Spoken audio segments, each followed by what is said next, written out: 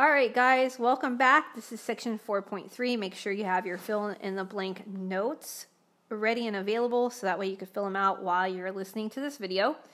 Remember, you have to upload them to Canvas and then you get a grade for them. So let's go ahead and look at this one. This is other bases. I can promise you that this section is actually easier than the last section, so that should make some of you guys happy. Because if you can get through the Babylonians, this is actually the same process. It's just we don't have to take an additional step to make our values that we get turn into symbols. So in our modern society, we use other bases besides base 10 to compute things. If you love computers and know how they work, you may have heard of the word binary system or hexadecimal systems of numeration. And if you have, then you may even know what that means. But in this section, we're going to increase our understanding of how to convert to and from these systems as well as other systems. So let's look at part one bases below base 10. So uh, we're talking about bases such as base 7, base 6, base 5, base 4, base 3, base 2, etc. So the first objective is we're going to be converting from our system to a base under base 10. So we're going from our system to theirs. Um, so the same rules apply that you learned for section 4.2. If we're going to our system, so we're going from theirs to ours, we're going to be multiplying. Okay, which is good because multiplying is actually easier. So if we're going to our system, we multiply. Okay, so this first example says convert 6053 base 7 to base 10. So the subscript, that little teeny tiny 7, that's called a subscript, uh, means that's the base that we're starting in. So we're starting in base 7. Okay, so what I do to handle these is I go ahead and write this out as 6053. I notice I have four digits. So I know that I have 7 to the 0, that's going to be the ones place. Plus, I know I have 7 to the first power. Plus, I know I have 7 to the second power. Plus, I know I have 7 to the third power. Okay? Um, and I know that once again because I'm in base 7. So if you remember, anything raised to the 0 power is 1. So this is actually 3 times 1. And let me make that one a little better because it's looking messy. So 3 times 1 is 3. Okay, let's do the next one up. 7 to the first is 7. So 5 times 7 is 35 plus 0 times 7 to the second. 7 to the second is 49, but it doesn't matter because anything times 0 is 0. And moving up to the next one, we have 7 to the third power. So 7 to the third power is 343, and then we're going to multiply that by 6. So if you have your calculators out, which you're going to need it for this section, make sure you have them out. I'm going to take 6 times 343. And 6 times 343 is 2,058. Okay, so if I add 2,058 plus 35 plus 3, I get 2,096. And that is what 6053 base 7 is equal to in our system. So once again, if you're going to our system, you multiply. Okay, let's look at another example. So this next example says to convert 110010 base 2 to base 10. So once again, I'm in base 2. All right, so I'm going to write these digits out, spreading them out so I have room to write. Okay, I got that done. And now I'm going to start uh, multiplying it by the base positional values. So the 0 at the very, very right of this value is going to be 0 times 2 to the 0 power plus. Now moving over, I have 1 times 2 to the first plus 0 times 2 to the second plus 0 times 2 to the third plus 1 times 2 to the fourth plus 1 times 2 to the fifth. Okay, and now I just have to go through and multiply each one. So 2 to the fifth is 32. Uh, so I'm going to take 32 and multiply that by 1. So 1 times 32 is 32. Plus 2 to the fourth is 16. So 1 times 16 is 16. Plus 0 times 8, because 2 to the third is 8, is just 0. Plus 0 times 2 to the second, which is 4, is 0. Make that clearer plus 1 times 2 is 2. And 0 times 1 is 0. So I have 32 plus 16 plus 2, basically. So 32 plus 16 plus 2 will give me a grand total of 32 plus 18, which is 50. Okay, so that's my answer. My answer is 50.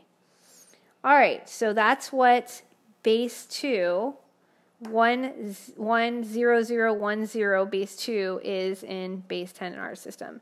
And by the way, base 2 has a special name. It's called binary.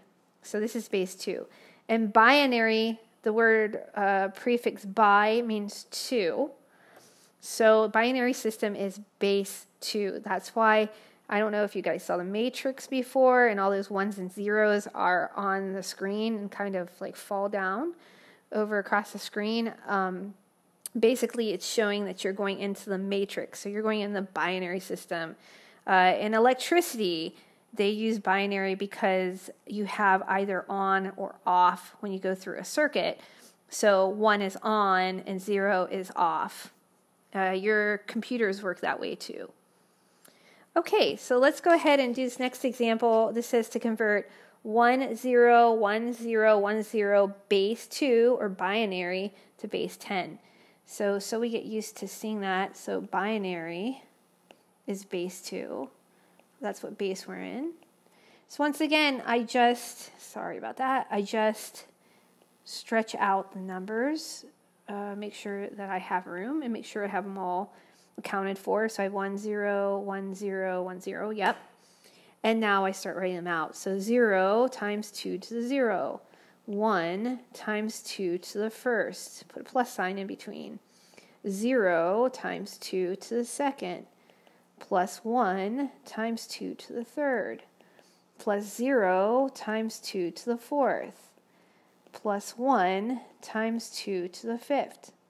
And now I write this out. So this becomes 1 times 32 plus 0 times 16 plus 1 times 8 plus 0 times 4 plus 1 times 2 plus 0 times 1.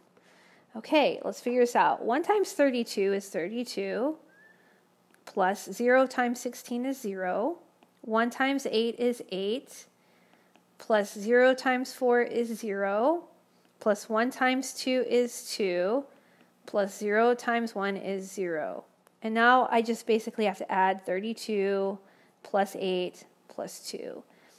And if I add those up, I should get the grand total of 42.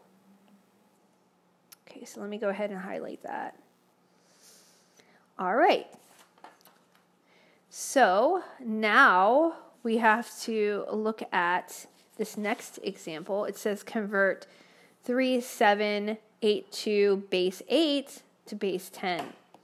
So I know I'm in base 8, so let me make myself a little reminder there. And once again, stretch the numbers out and then start working on it. So if it's base 8, I get 2 times 8 to the 0 plus 8 times 8 to the first power plus 7 times 8 to the second power plus 3 times 8 to the third power. Now all I have to do is convert these over. So this first one becomes 3 times 8 to the third. 8 to the third is 512 plus 7 times 8 squared is 64 plus 8 times 8 to the first is 8 times 8 plus 2 times 1 because 8 to the 0 is 1. Okay, so 3 times 512 is 1,536 plus 7 times 64 is 448 plus 8 times 8 is 64 plus 2. And when I add those up together on my calculator, I get 2,050. So 10, 10, 10, base 2, and base 10 is 2050. All right. So hopefully you're understanding this. If you're not, go back through and watch the video again. I just think sometimes repetition, you know, is key to understanding. Okie dokie, let's look at the next one. This is actually objective number two. So uh, this whole section, by the way, uh, 4.3 is going to be broken up in two videos. So this part, I'm going to go over objective two, and then I'm going to stop uh, and do a new video for part two. So objective two is converting from base 10 to a base below base 10. So if we're going from our system to theirs, it's more difficult. So when it's more difficult, we're going to have to divide.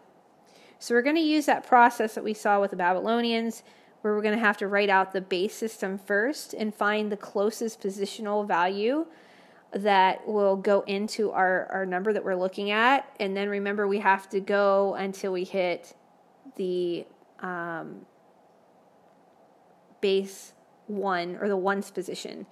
Okay, so let's go ahead and look at this. It says convert 23, which is ours, to base 3. So if we're going from ours to theirs, so we have to divide. So that means I need to write this out. 3 to the 0 is 1. 3 to the first is 3. 3 to the second is 9. 3 to the third, not the fourth, 3 to the third is 27. And if I look, I have 23. So 27 is too big. So I know I have my starting place. I'm going to start right here. A 3 to the second, which equals 9. So this is starting point. Okay, so I'm going to start here. So I take 23 and I divide it by 9 because remember we're starting with 3 to the second. So 9 goes into 23 twice. So 9 times 2 is 18 and 23 minus 18 will give me 5. Okay, so I'm going to bring that remainder and put a division sign over it. Remember I have to drop down to 3 to the first. 3 to the first is 3. 3 goes into 5 one time. Okay, so uh, 3 times 1 is 3. Subtract that, I get 2. So let me highlight what I've got so far. I got a 2 and I got a 1. So now, I'm just going to put a little arrow that I'm going over to the side here and going up. I have to take the remainder, which is 2, and I'm going to divide it into 3 to the 0, which is 1. Okay, so 2 divided by 1 is 2. So I have the value 212. Okay, I'm going to write that down 212. Now I have to let everybody know that I'm in base 3, and I do that by doing the subscript 3 just to show that I'm in base 3 and I'm not in the Hindu Arabic base. All right, let's do convert 22 to base 3. So once again, we are going to write out our values. So let me put a little line here just to denote I'm on this next one. So I have 3 to the 0, that's 1. 3 to the first, that's 3. 3 to the second, that's 9. Okay, 3 to the third, that's 27, that's too big. I have to start in the same place I started with the last one. 3 to the second, which is 9. Okay, so I'm going to take 22, divide it by 9. And remember, this is 3 to the second. So 22 or 23 divided by, or sorry, 22 divided by 9, uh, it's 2. So 9 times 2 is 18. 22 less 18 is 4. So now I drop down to 3 to the first. I take the remainder and divide it by 3. 3 goes into 4 once. Okay, and I'm going to get a remainder of 1. Okay, so I have to drop down to 3 to the 0. 3 to the 0 is 1. 1 divided by 1 is 1. So let me highlight what I got here. I got a 2, I got a 1, and I got a 1. So I put that together. 2, 11, base 3. Okay, so that's how you do this one. Like I said, easier than the Babylonians because I don't have to convert over those values into uh, spikes and boomerangs. Okay, let's look at the next page. I'm just going to do this next example and then uh, we'll do part two in the next video. So convert 22 to binary. Okay, I'm going from our system to theirs. So I know that I'm going to have to divide because going to theirs is harder. And binary I know is base 2. So I'm going to put these over here. 2 to the 0 is 1. 2 to the first is 2. 2 to the second is 4. 2 to the third is 8. Okay? 2 to the fourth equals 16. Let's keep on going. Uh, 2 to the fifth is 32. Oh, too big. So I know I have to start at 2 to the fourth. So I'm going to take 22. I'm going to divide it by 16. Remember, that's 2 to the fourth power. Uh, and when I do that, I get 1. So 16 times 1 is 16. 22 less 16 is 6. Okay. So I'm going to take that value and I'm going to place it underneath the division sign, and I'm going to drop to the next base system, which is 2 to the third. 2 to the third, by the way, is 8. 6 is too small, so I'm going to have to put a 0 here and drop down to the next base value. So I get a remainder of 6. So 6 is going to go under the division sign. I have to drop to 2 to the second. So 2 to the second is 4. Now that works because 6 is bigger than 4. So 4 goes into 6 once, uh, if we subtract, we get 2. So 2 goes under the division sign. I drop down to 2 to the first. So 2 goes into 2 once. Uh, the remainder is 0. And I have to take that 0, and I guess I'll put a little arrow up here, and divide it by 2 to the 0, which is 1. So 1 goes into 0 one time, or 0 times, I'm sorry. Okay, so what's my value here? I'm going to highlight them. I got a 1, a 0, a 1, a 1, and then a 0. Okay, because this was 2 to the 0 power. All right, so in that order. So I got 1, 0, 1, 1, 0, base 2, which is binary. Okay. So that's that, and we just got our value here. And you can check them, by the way, by converting it back over to our base to make sure you got the right answer. Um, so that's the end of part one's video. Uh, please make sure you watch part two to get the rest of this, uh, which is converting to and from bases larger than base 10.